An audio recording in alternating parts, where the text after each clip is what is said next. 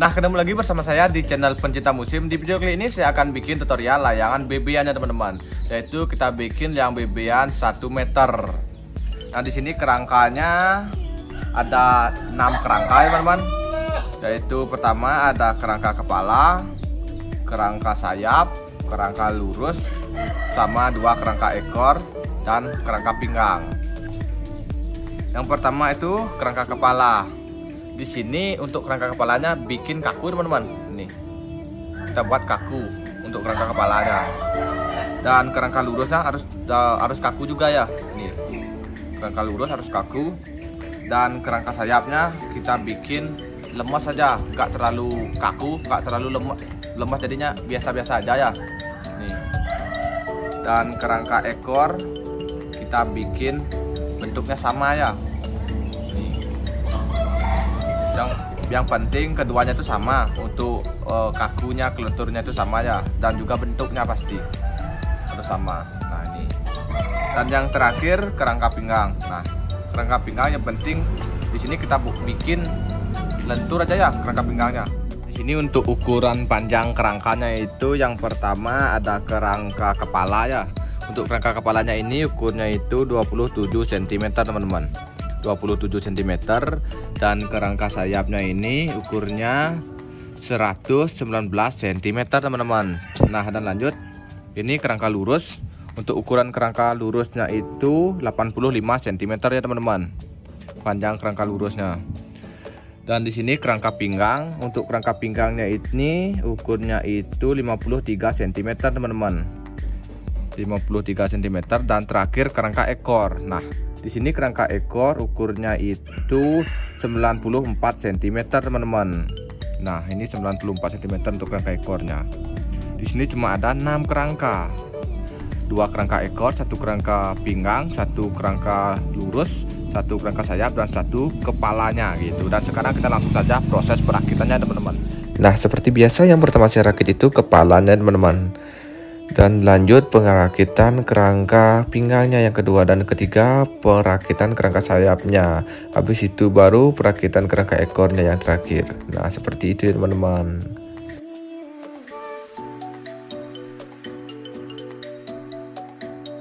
Nah teman-teman ini kerangkanya tinggal dikasih tali penarikannya saja ya. Nah dan seperti ini bentuknya ya teman-teman Nah, dan sekarang saya akan mengukur jarak pengikatan kerangkanya. Nah, di sini saya akan ukur dari kepalanya ya, teman-teman. Nih, saya ukur dari kepala. Dari ujung kepalanya ini sampai ke kerangka lurus jaraknya itu tas 26 cm teman-teman nih 26 cm dan lanjut ke bawah. Dari kerangka sayap. Iya dari kerangka sayap ke kerangka pinggangnya ini. Kerangka pinggang. Nah jaraknya itu terus. Nah terus. 57 cm teman-teman. Nih. 57 cm dari kerangka sayap ke kerangka pinggang. Kerangka pinggangnya. Ukurnya itu 57 cm nih 57 cm dan untuk uh, kerangka ekor yang diikat itu kita dikas kita kasih di sini 8 cm teman-teman nih. 8 cm untuk pengikatan kerangka ekornya gitu. Dan sekarang kita langsung saja ke pemasangan tali penarikan kerangkanya teman-teman. Yang pertama saya pasangin tali penariknya itu di bagian kerangka sayapnya teman-teman. Habis ini langsung pemasangan tali penarikan bagian ekornya. Dan lanjut pemasangan tali penarikan bagian sisi sayapnya teman-teman. Kita ikat di bagian pinggangnya lalu bawa ke kerangka ekor gitu Ya dan pastikan untuk tali penarikan kiri kanannya itu sama ya teman-teman. Untuk jaraknya, untuk tempatnya itu pastikan sama ukurannya. Nah teman-teman ini kerangkanya sudah jadi ya. Seperti ini bentuknya. Saya nggak tahu bentuknya di atas bakal bagaimana tapi kalau di bawah sih udah oke-oke aja. Dan sekarang akan menjelaskan ukuran tali penarikannya ya teman-teman teman-teman kali ini saya akan mengukur panjang jarak tali pengikatannya ya dan panjang tali penarikannya. Nah yang pertama itu saya ukur dari kerangka sayap. Di sini untuk ukurnya 21 cm teman-teman. Untuk jarak pengikatan tali kerangka sayap dan tali penarikan kerangka kepalanya. Dan untuk panjang tali penariknya ini 44 cm teman-teman. Nih. 44 cm untuk panjangnya.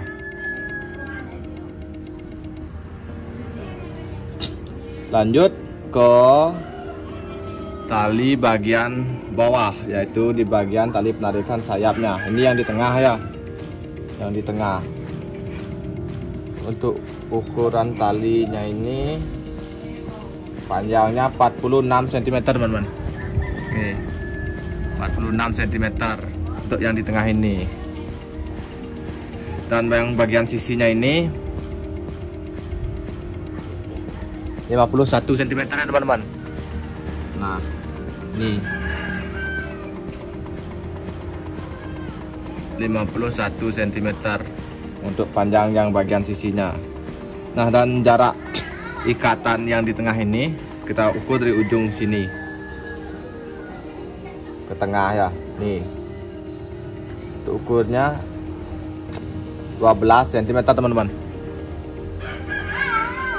Ya 12 cm dan panjang tali penarikan ekornya. Di sini yang saya ukur yang paling tengah dulu ya saya ukur untuk panjangnya set. 57 teman-teman. Nih. 57 cm dan untuk jarak pengikatan di kerangkanya kita ukur dari sini ya dari ujung ke tengah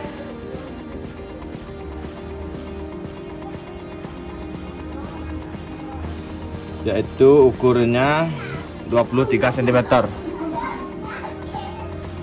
ya 23 cm dan yang terakhir pengukuran tali penarikan bagian sisinya tali ekor bagian sisi.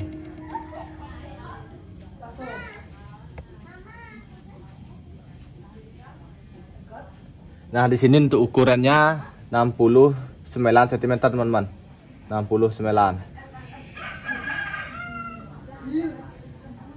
Iya. 69 cm. Nah, itu aja dan sekarang lanjut saja ke proses penukupannya. Yang pertama kita pasang dulu warna tengahnya teman-teman Selanjutnya pemasangan warna hitam bagian sisinya Nah dan sekarang kita udah mulai menukup kerangkanya teman-teman Nah ini kerangka atas sudah mulai tertukup dan sudah hampir selesai. Habis ini lanjut penukupan kerangka ekornya. Untuk plastik yang saya gunakan di sini saya menggunakan plastik cap bumi teman-teman. Saya beli di toko layangan. Nah dan ini penukupnya hampir selesai. Dan sekarang tinggal pemasangan sirip atau kepesnya aja teman-teman Yang terakhir pemasangan tali gocinya teman-teman. Nah, di sini saya pasang dulu bagian atasnya. Posisi tali goci bagian atasnya itu pas di tengah kerangka sayapnya ya teman-teman. Pas di tengah kerangka sayapnya dan posisi tali goci bagian bawahnya pas di pengikatan kerangka ekornya itu. Ya dan pemasangan tali gocinya sudah selesai teman-teman ini saya pasang untuk di bagian atasnya pas di tengah kerangka sayapnya teman-teman. Kita pasang. Dan yang di bawah pas di pengikatan kerangka ekornya itu. Nah ini layarnya sudah siap diterbangkan teman-teman. Nah teman-teman kali ini kita akan coba layangannya ya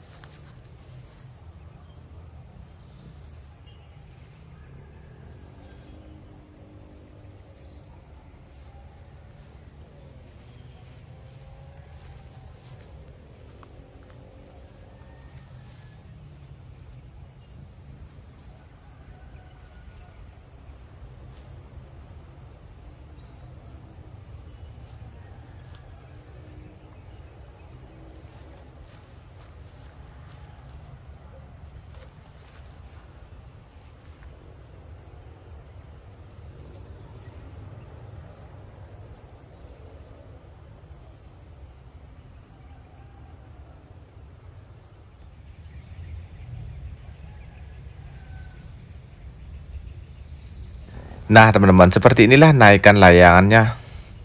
Layangan BB-an 1 meter. Bentuknya sih gak terlalu jelek di atas. Normal-normal aja gitu. Untuk itu kalau kalian suka dengan video ini Jangan lupa di like, di share juga ke teman-teman kalian ya. Dan untuk kalian yang baru gabung jangan lupa tinggalkan jejaknya di channel Penjana Musim dengan cara klik tombol subscribe dengan begitu, saya lebih semangat bikin konten menarik buat kalian.